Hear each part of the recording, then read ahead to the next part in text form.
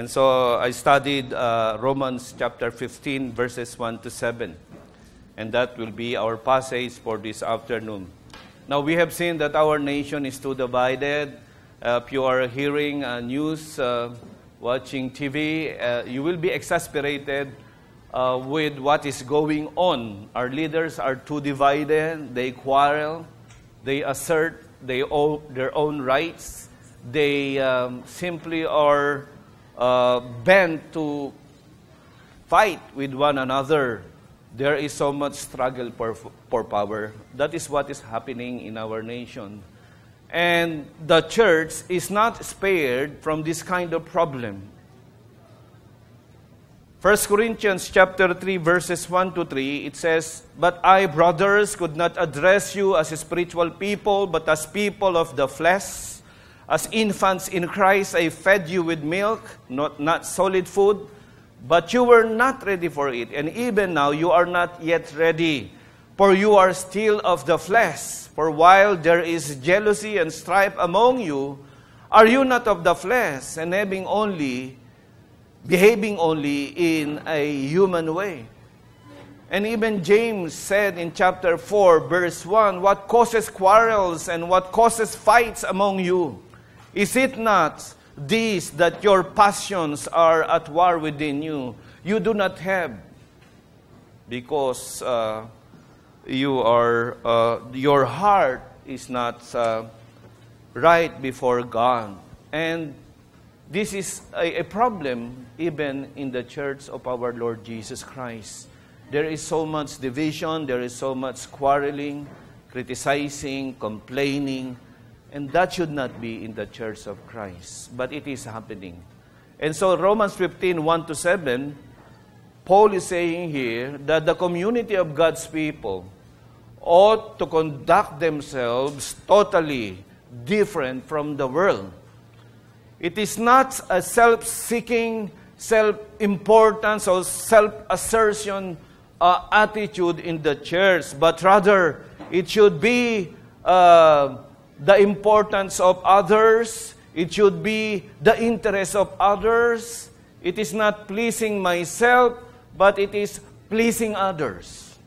Now, that is what Paul is saying here in Romans chapter 15, verses 1 to 7. And reading from verse 7, it says, Therefore welcome one another as Christ has welcomed you for the glory of God. Christ has accepted us. And so therefore, you must accept one another.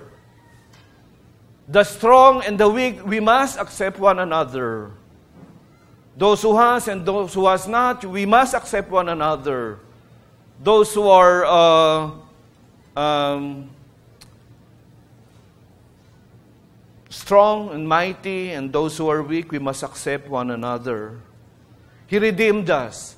He justified us. He changed us. But the strong and the weak in conscience, both the strong and the weak in conscience, we must accept one another for the sake of unity and for the sake of God's glory. The interests of others must take precedence before our own interest. If I ask you this afternoon, what is a Christian? What is your idea of a Christian? If I'm talking to you as a Christian and you as a Christian, what do you understand about a Christian? A Christian is someone who belongs to Christ. A Christian is someone who is a follower, a disciple of our Lord Jesus Christ. And what is the orientation of the life of a Christian? The orientation of the life of a Christian is not about self. It's not about me. It's about others. It's about what I can do for others. That is the orientation of the life of a Christian. It's about doing good to others. It's about the interest of others, not self. The Lord has given us the Decalogue, the Ten Commandments. And it clearly teaches us the attitude of self giving, of thinking about the good of others. What is the summary of the Decalogue in Mark chapter 12? Love God with all your mind, with all your heart, and with, your, with all your soul. And then love your neighbor, even before you love yourself. The commandment tells us, do not love yourself first, but love God first and then love others before you love yourself. The Ten Commandments of God teaches us the priority, the orientation of the life of a Christian. We are to love God above all and then love others before we love our own selves. I hope you understand what it means to be a Christian. And if you are not thinking, if you are only thinking about yourself, your own interests, how important you are, your own concerns for yourself and not others, examine your own heart this afternoon. You are not living as a Christian because the orientation of your life should be what I can do for the good of others. So the context of Romans chapter 15, 1 to 7, actually is it's, it's a conclusion of chapter 14 where Paul was addressing the issue of Christian liberty. There, Paul is saying one's freedom to do what is right should take a backseat over the good of others. In chapter 14, verse 1, Paul says, As for the one who is weak in faith, welcome him, but do not quarrel over opinions. Right? That is what Paul said in verse 1. And then verse 19, Paul says, um, so then, let us pursue what makes for peace and for mutual uh, edification or upbuilding.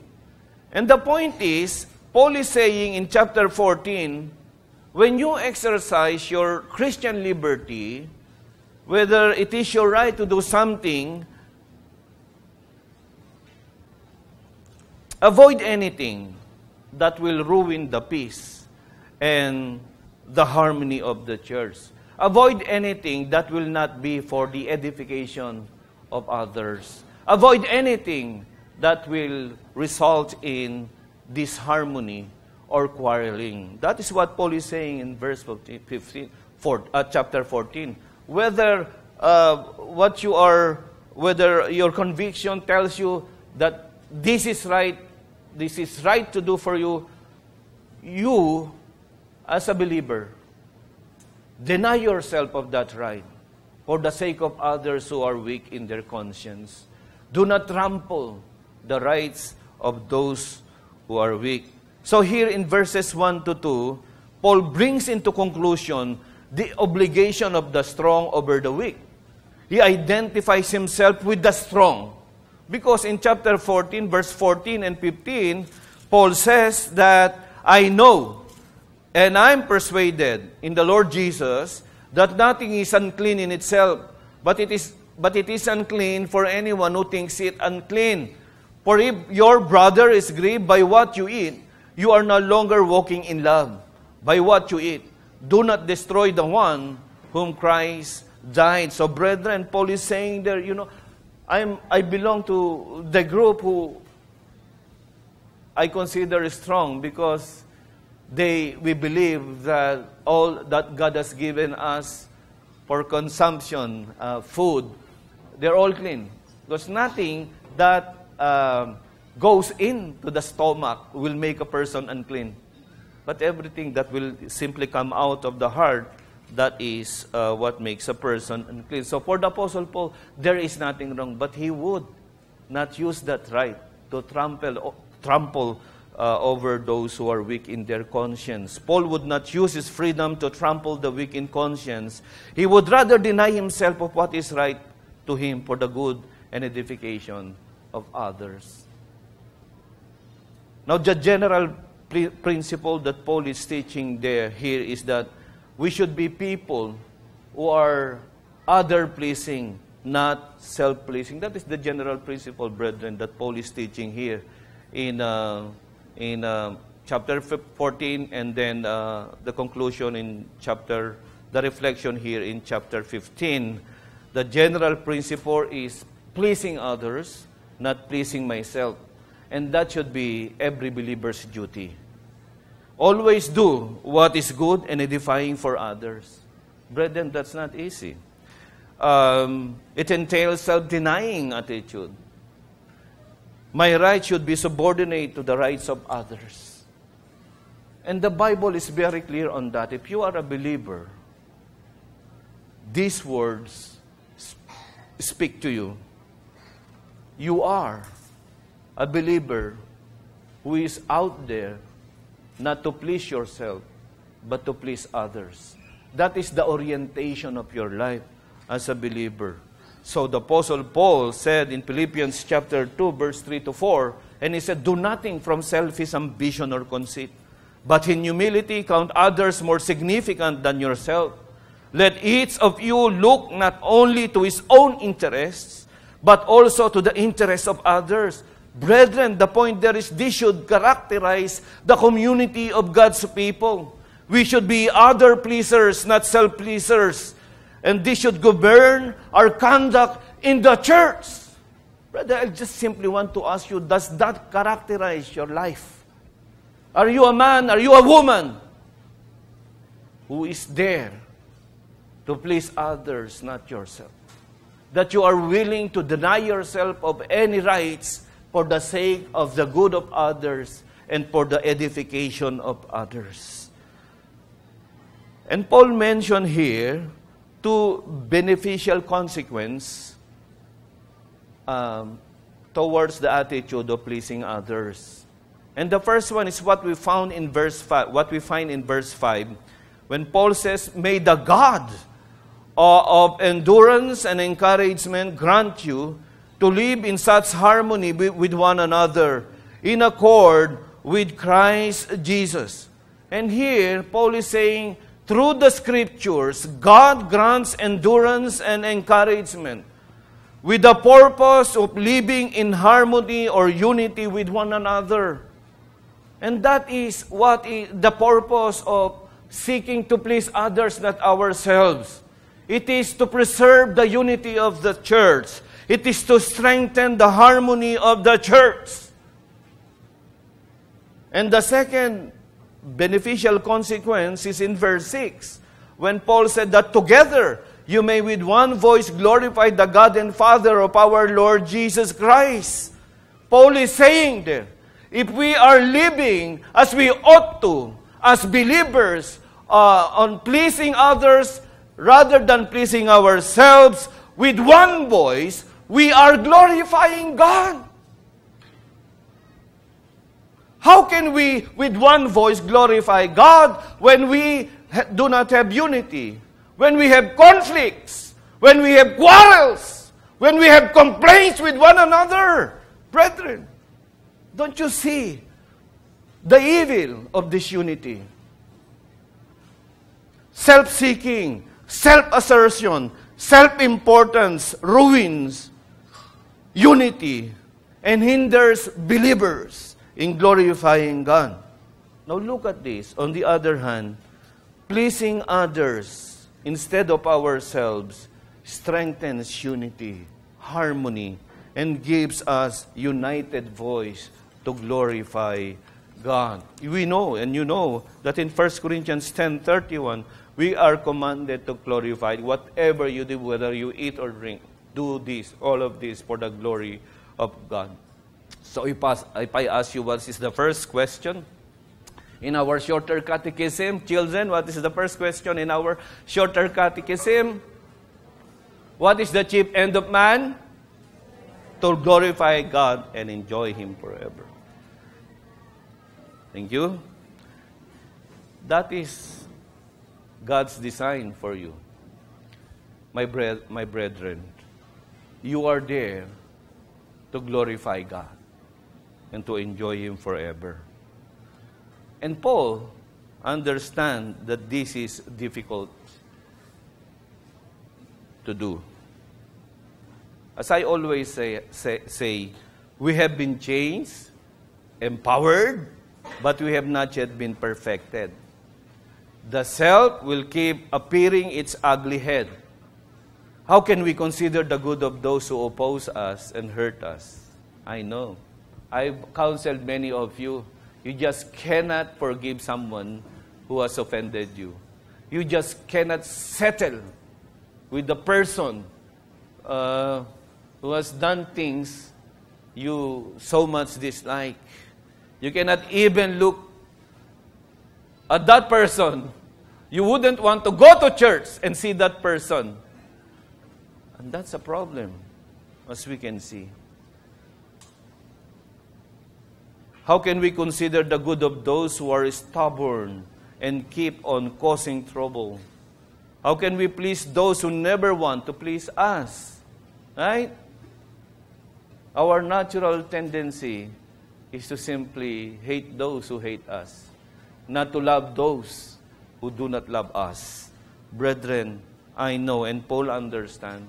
It's really difficult to live by this principle of always thinking about the good of others, of always seeking to please others before pleasing ourselves. It is difficult, I know.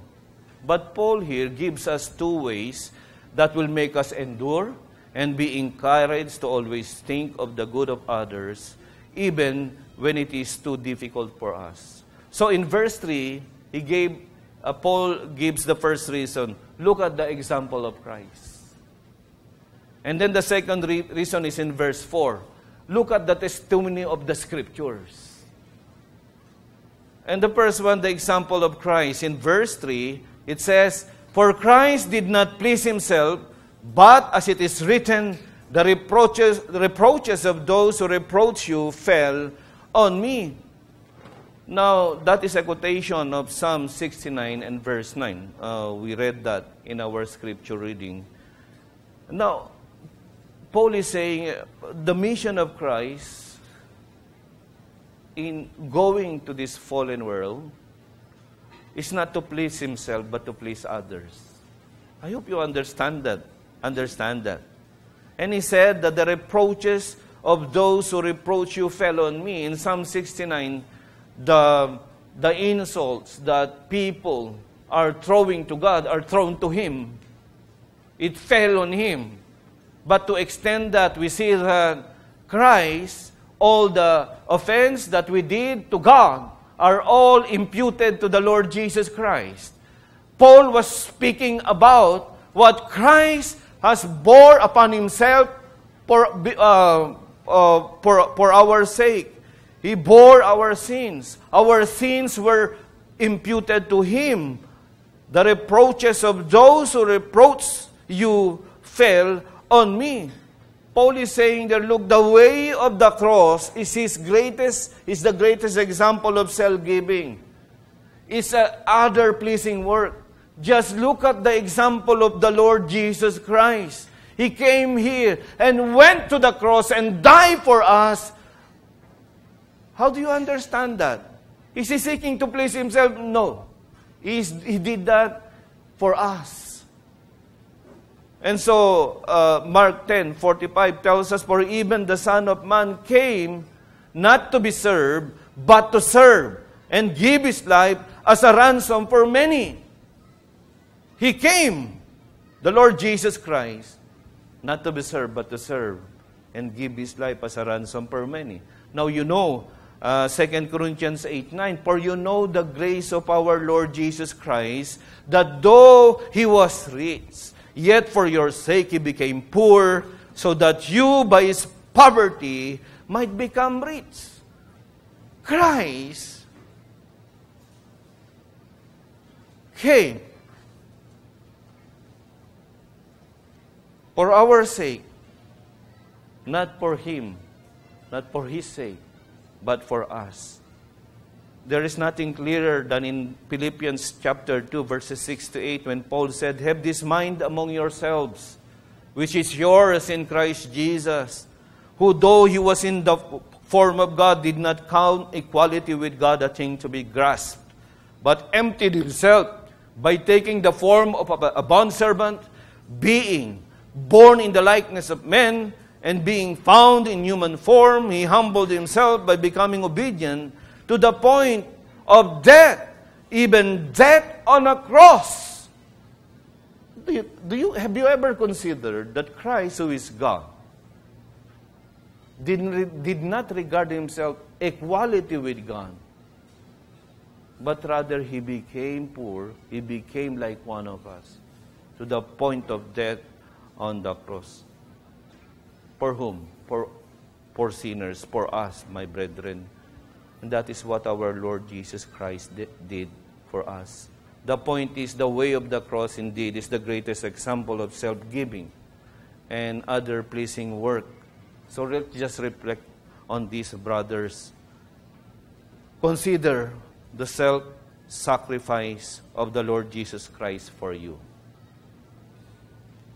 Whenever you find it difficult to deny yourselves for the, for the good of others, or for the edification of others, for the edification of the church, brethren, just look to what Christ has done for an unworthy sinner like you.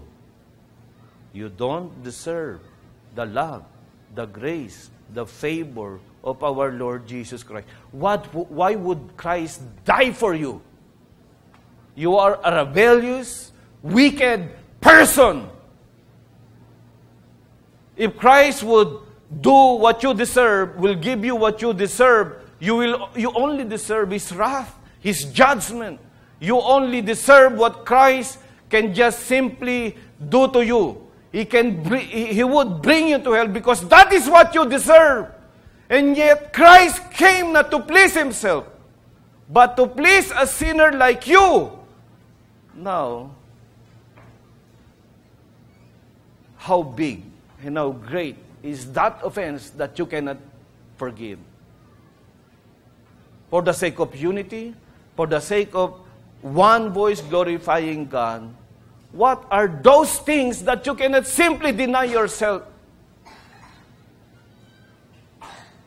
When Christ, by his own example of love, he came to give himself and to please others, not himself.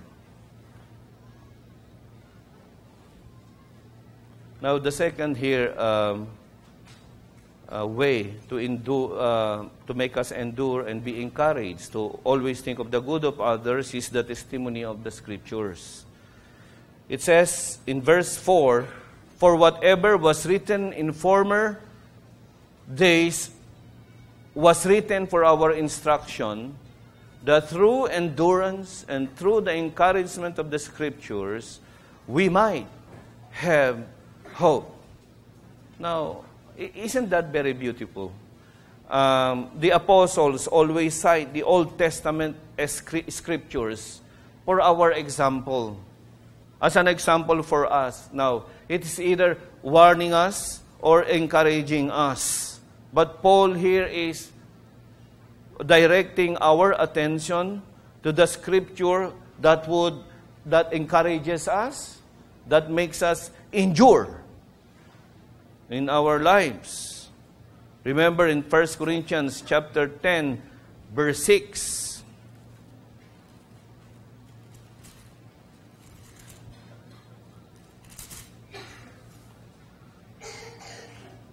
This is a warning against the sin of the people of Israel. And verse 6 it says, Now these things took place as example for us, that we might not desire evil as they did.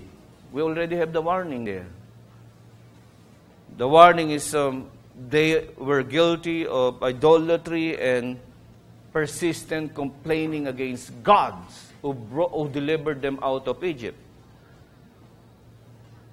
And then verse 11 Now these things happened to them as an example, but they were written down for our instruction, on whom the end of the ages has come. Brethren, the scripture were given to us for our instruction, to give us, to help us endure, and to be encouraged in our duties, uh, in our Christian duties. The, the passage in Psalm 69 and verse 9 teaches that the scripture, the scripture, uh, scriptures central teaching is the Lord Jesus Christ. When you read the Old Testament scripture, you will find the Lord Jesus Christ there.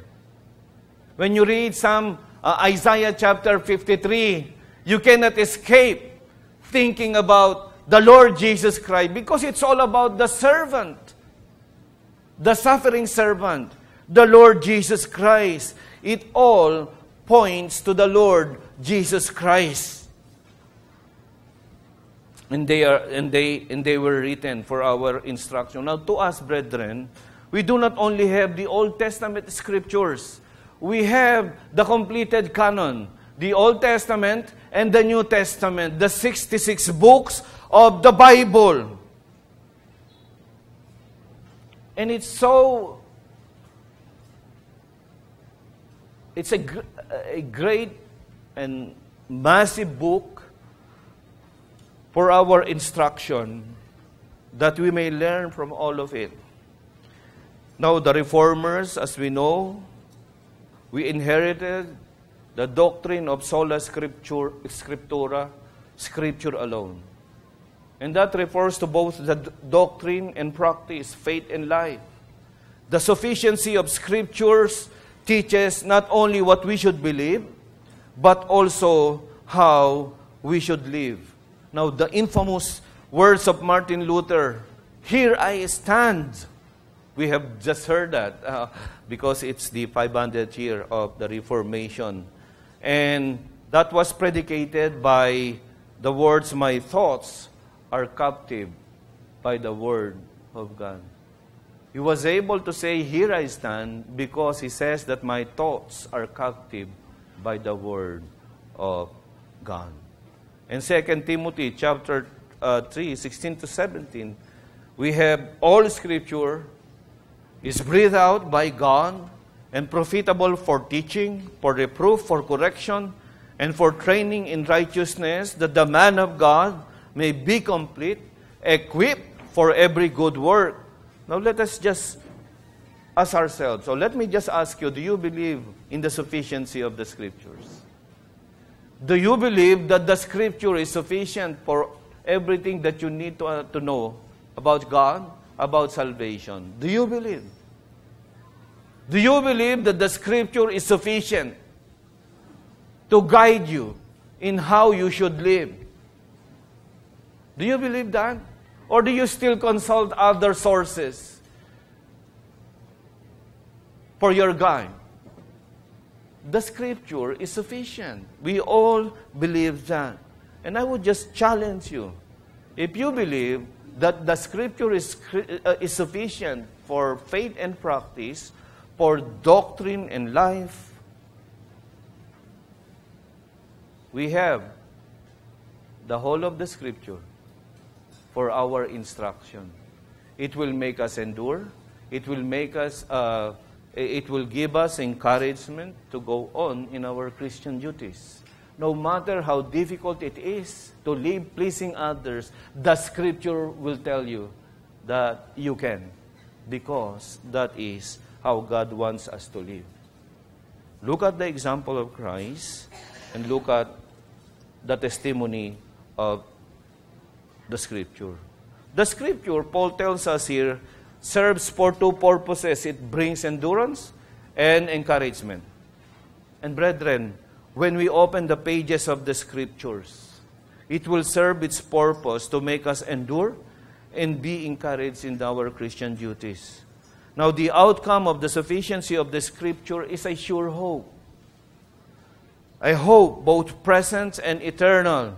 That hope when the self is no longer our enemy, when sin can no longer trouble us, when sin cannot simply uh, make us ruin our unity, when sin simply can simply create disharmony, when sin can simply make us forget about glorifying God, when we are all in heaven, with one voice, we shall glorify our God.